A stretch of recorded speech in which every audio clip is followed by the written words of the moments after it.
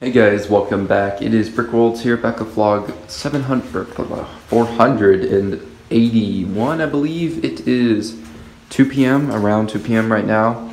I have finished everything for today. Uh, for the first wave, I'm waiting on the second wave, so hopefully that comes here soon, or I have to wait a little bit longer because that'll be great to get extra hours and such.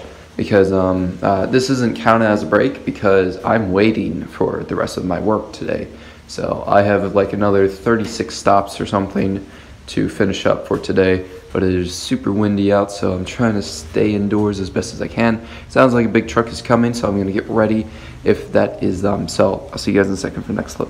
All right, guys, back home. It is 7:20 right now. Um, today I had to do the heaviest um package I've ever seen. 135 pounds and there was one of two. So I think tomorrow I might see the second one. So as I was saying before the screaming happened, uh, I might see the second package tomorrow, which would probably be another 135 pounds because it was a trampoline set that uh, I needed to move.